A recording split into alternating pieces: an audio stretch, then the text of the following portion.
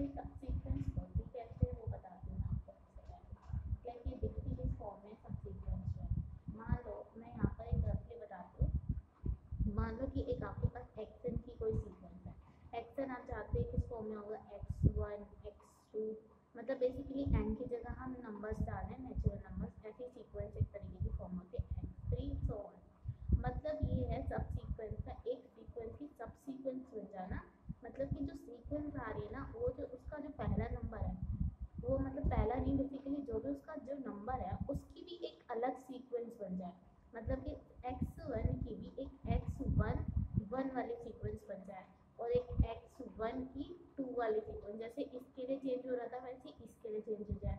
ठीक है? And so on ऐसी एक्स टू के लिए भी बन जाए।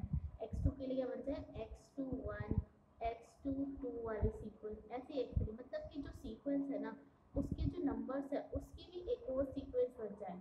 और जैसे कि एक्स एन के इस फॉर्म में बन जाए तो उसको हम सब सीक्वेंस कहते हैं आई होप आपको समझ आएगा ठीक है नहीं आया हुआ तो बता दें चलो कमेंट बॉक्स में और राइट चलो स्टार्ट करते हैं उसका प्रूफ अब देखो इसमें बोल रखा है एवरी बाउंडेड सीक्वेंस मतलब कि ये चीज़ मुझे गिवन है has a convergent subsequence मुझे ये प्रूफ करना है। ओके तो बाउंडेड सीक्वेंस मुझे बोल रखे तो मैं यहाँ पे क्या करूँगी? यहाँ से स्टार्ट करूँगी। लेट कर लूँगी ए एन जो है हमारा।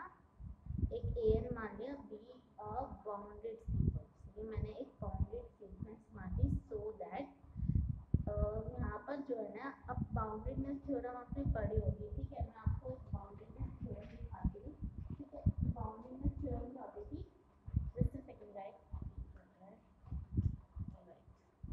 so देखो मेरे पास बाउंडेडनेस थ्योरम बाउंडेडनेस थ्योरम कहती है एक हमारे पास सीक्वेंस होगी जैसे मैंने ए ली है